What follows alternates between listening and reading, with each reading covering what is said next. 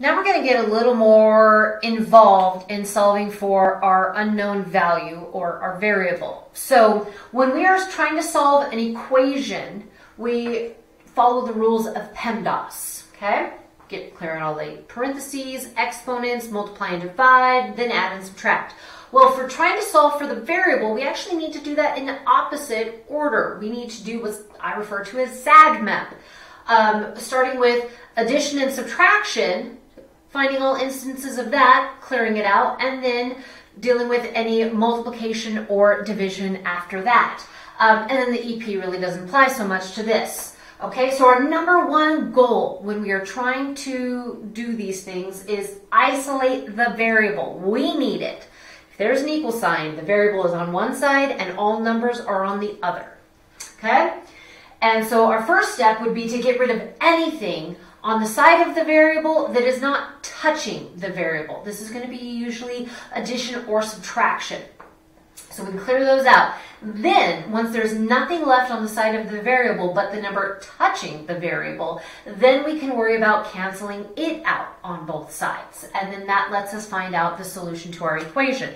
So if we have this as an example, our goal is to get x by itself. Well, because there's two terms on this side, our goal is to then just get the x term by itself. What's in the way of the x term being alone? This subtract 7. So then I have to perform the opposite operation of that, which is addition. So I'm then going to add 7 to both sides. It cancels out here, leaving me with 5x.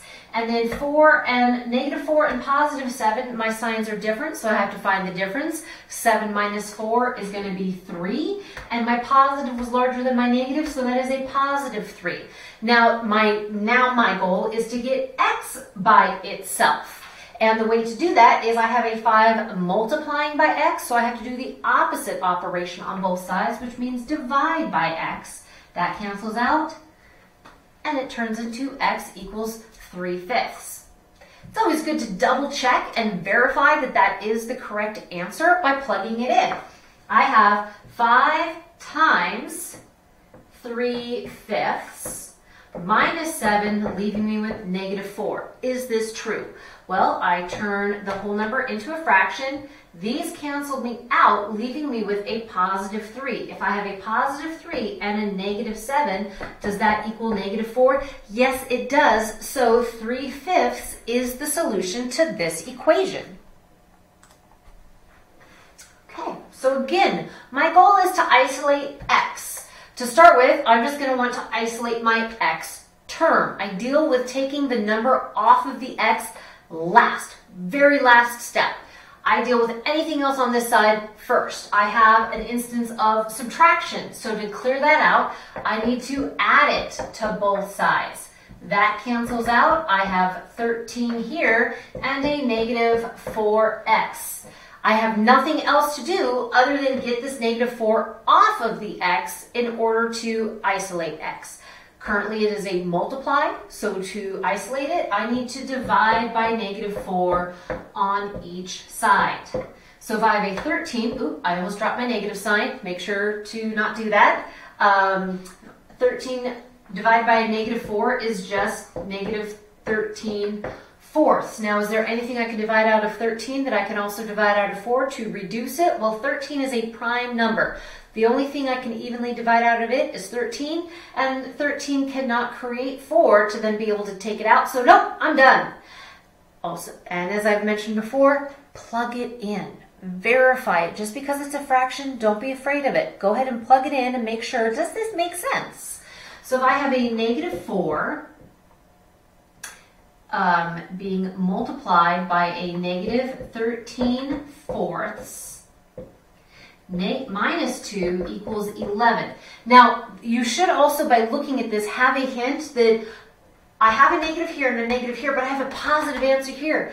That means if I'm taking 2 away from something, I need this to be a really big positive number to take 2 away and still get a positive 11. So that means this negative 4 is going to have to also get multiplied by a negative number to turn positive. So that could let you double check that your signs were correct.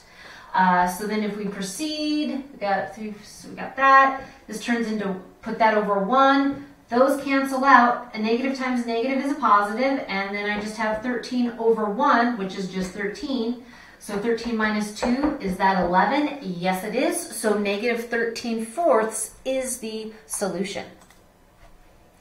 When it comes to equations with fractions, we have a couple different ways we can do it. We can keep everything as a fraction, or there's a way to actually clear the fractions out so that we're just dealing with whole numbers. It might work out that we end up having a fraction as our final answer, but we're at least not working with fractions within the problem. So the way to do that is when I have an equation, it only works with equations, not expressions, I look at what would my lowest common denominator be? Well, if I have a 3 and a 5, the first number that they both create is going to be 15. So what I can do is I can multiply the entire equation by 15. This is going to let me create whole numbers to work with. So 15 times 1 third just means I go 15 divided by 3, okay? Because I have 15 one third of a time. So 15 divided by 3 turns into 5x plus 15 divided by 5 because I'm looking for 1 fifth of 15. I could do the, the long-winded way of going like this, meaning like, oh, let me cross cancel 1 and 3, and I just get 3 over 1, which is 3. Shortcut, just take our whole number, divide it by our denominator, especially when it's just 1. Okay, so 15 divided by 5 is 3. So each fifth of a value means I have 3. And then 15 times a negative 4. Well, positive times a negative is a negative. If I have 15 twice, I have 30. And if I double that, then I have 60. So this is going to be 60. Now I got whole numbers. And then we do our SAD method. Find all addition and subtraction, cancel that out, then find all multiplication and division and cancel that out. I have addition right here. Let's cancel it out by subtracting by 3. A negative, two negatives, means I actually get to add those together and keep the same signs. Because if I owe 60 for something and I owe 3 for something else, I owe a total of 63. And here I have multiplication. So to get the multiplication off of there, I'm going to divide. Divide. That cancels out. X equals negative 63 fifths. Now you might see that and be like, what? What is that? I don't know how to solve that. Yeah, yeah, you do. Let's just go ahead and do it anyways. So it's really good to verify by plugging in that solution in for your X. Did I do my math right? Okay, well, let's find out.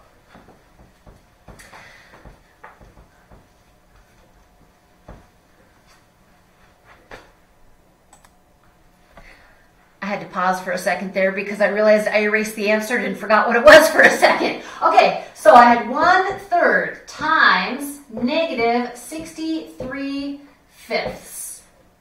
Okay, and then if I added one fifth to it, I'm supposed to get a total of negative 4. Well, 3 and 63 are both divisible by 3, so I can cancel a 3 out of a 3, leaving me with 1. And 6 divided by 3 is a 2. 3 divided by 3 is a 1. So this turns into negative 21 fifths. And then I need to add 1 fifth. Well, because my signs are different, I almost thought I did the math wrong. I didn't. Uh, because my signs are different, I actually have to find the difference between 21 and 1, which is 20. And so this is 20 over 5, and I had more negatives than positives, so that's negative. Well, what is 20 divided by 5?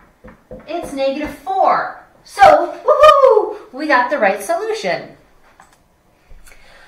So here, I can look at what I have and kind of get a sense, an idea, a hint about what my answer should look like. I have an 8, but then when I combine it with this value, the 8 shrinks down to a 2, but this is positive. That lets me know I'm going to be looking for a negative number for my x.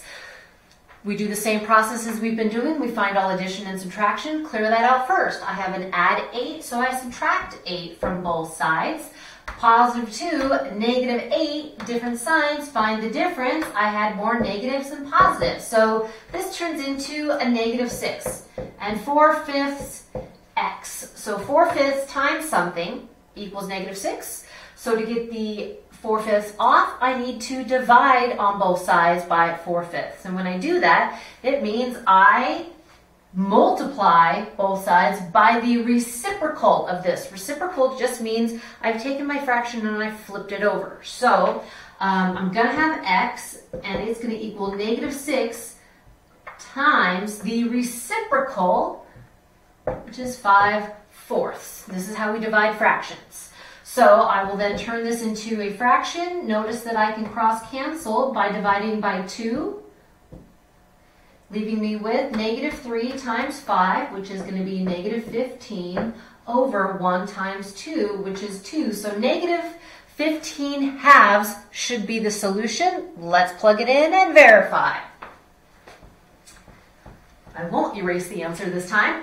All right, so if I have 4 fifths times a negative 15 halves, I can cross cancel. 2 turns into 1, 4 turns into 2, 5 turns into 1, 15 turns into 3 because I've reduced by 5, reduced by 2. Now I have 2 times a negative 3, which is negative 6, over 1 times 1, which is 1. Any number over a 1 is that number as a whole number. So negative 6. So if I have a negative 6 here, and I add it to 8, when I plug it in here, does that equal a positive 2? Yeah, 8 minus 6 is 2. So that's how we do two-step equations.